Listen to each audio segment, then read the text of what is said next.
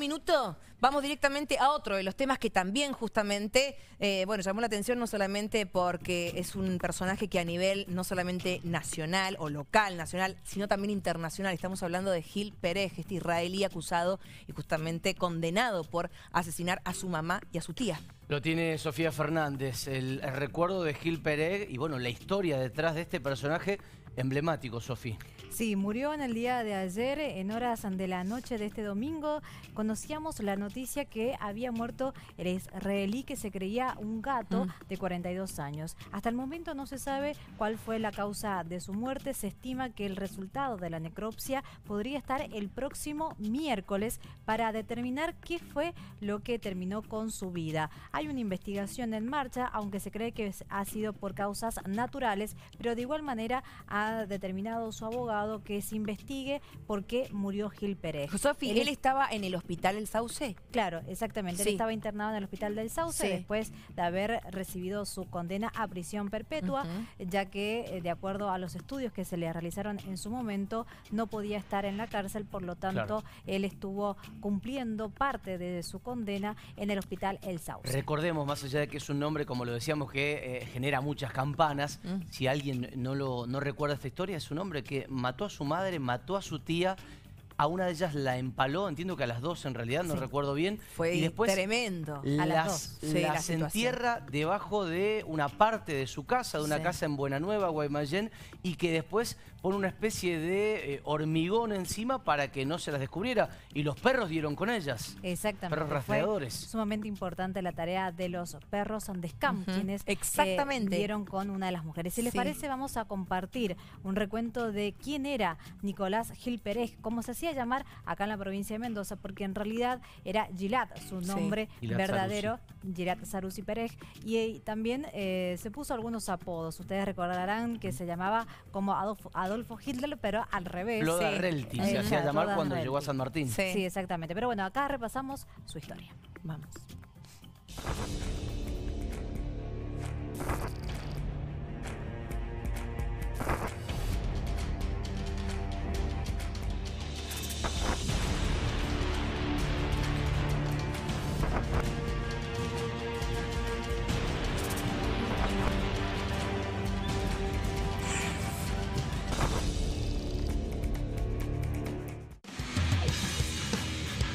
Aislado y compenetrado en su realidad, así fueron los últimos días de Nicolás Gil Pérez, el hombre de casi dos metros de altura que llegó hace unos años a la provincia de Mendoza desde Israel.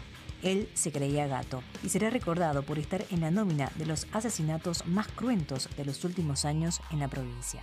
El hombre que supo disfrazar durante 14 días la verdad de la muerte de su madre y de su tía, ambas llegadas desde Israel a la provincia de Mendoza para solucionarle algunos de sus tantos problemas económicos. La madre le mandaba miles de dólares para seguir solventando estos negocios, eh, supongo que influida por, por- por su parentesco y por, por una cuestión de favor hacia su hijo.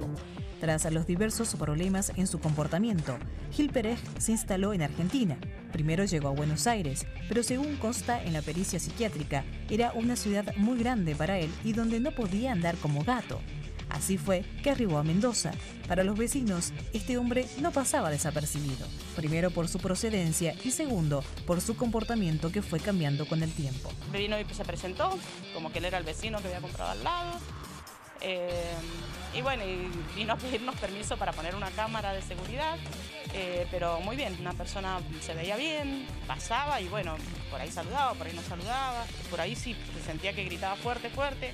Nicolás tenía suficiente dinero para vivir en buenas condiciones, pero prefería la precariedad y la poca higiene. No contaba con servicios, solo se cruzaba al cementerio de Guaymallén a buscar agua. Incluso jamás se bañaba y durante mucho tiempo llevó su cabello con barro y cemento. Su única compañía eran sus hijos, como los llamaba a los más de 20 gatos que habitaban en su predio. Algunos estaban muy enfermos y otros muertos disecados al sol. También tenía perros. Que estaban atados y en un estado preocupante. El misterioso hombre se convirtió en un personaje difícil de descifrar, envuelto en contradicciones. De principal testigo pasó a ser el único sospechoso de la muerte de su madre, Filia Sarusi, y de su tía, Lili Pérez, a quienes se las vio con vida por última vez cuando fueron captadas por las cámaras del cementerio de Guaymallén. Pérez creyó haber trazado el plan perfecto para ocultar los cadáveres en su terreno. Sin embargo, sus actitudes generaron desconfianza en los investigadores y por eso nunca le perdieron el rastro. Él siempre nos manifestó que era inocente desde el primer momento. El hallazgo de los restos de las hermanas israelíes será recordado como uno de los hechos más macabros de los que se tenga memoria. Los cadáveres de las mujeres estaban enterrados a casi un metro y medio de profundidad en un habitáculo confinado al fondo del predio, más precisamente detrás de las canchas de fútbol a medio construir. En principio la persona más baja eh, tenía tres impactos de arma de fuego en la parte del tórax.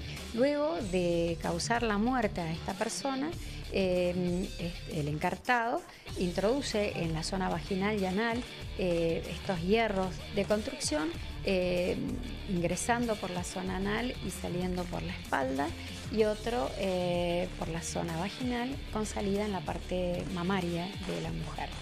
Eh, luego también un hierro que atravesaba de lateral a lateral eh, en su cabeza. La persona más alta eh, tenemos que la misma tenía cantidad de lesiones en la cadera, en miembro superior. Las mismas se advierte como que hubo una lucha, como que tenía también signos de defensa. Sin embargo, ni sus palabras ni los maullidos lograron convencer a los 12 jurados. Estamos por iniciar el juicio en su contra. Para permanecer en la sala de debates, usted debe permanecer en silencio y respetuosamente. Quienes consideraron que fue culpable de la muerte de su madre y su tía y fue condenado a prisión perpetua. Nosotros, el jurado, encontramos culpable por unanimidad al acusado Gil Pérez del delito de homicidio agravado por el vínculo conforme al requerimiento de la acusación.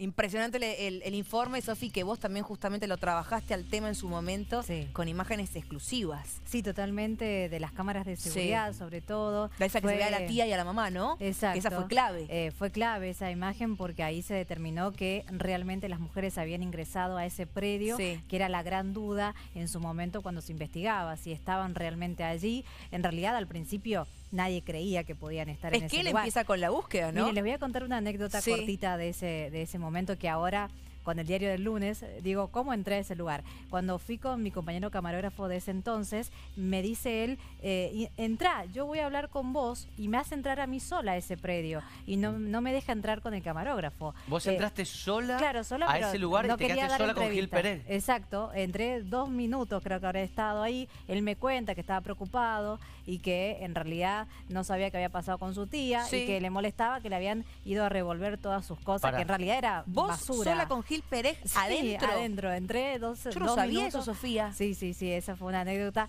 que la verdad que después, eh, bueno, cuando pasa todo, digo, ¿cómo entré sola? Porque él cierra ese portón y en realidad el camarógrafo queda del otro lado. ¿Y ahí, eh, ahí vos le creías o, te generó una especie de? No, ya era raro, era todo, raro, pero nunca me imaginé que estaban los cuerpos a escasos metros de donde yo estaba con él. Eh, la verdad que nunca me lo imaginé y fue ese día que las encontraron el 25 de enero del 2019 de mucho calor, 40 grados me acuerdo patente y fue una jornada larguísima hasta que se encontraron los cuerpos. Y, te hago una más, porque hay algo que se habló mucho en su momento que es, y que está en el informe, él gritaba, él tenía, eh, sufría por algo, gritaba, maullaba por las noches.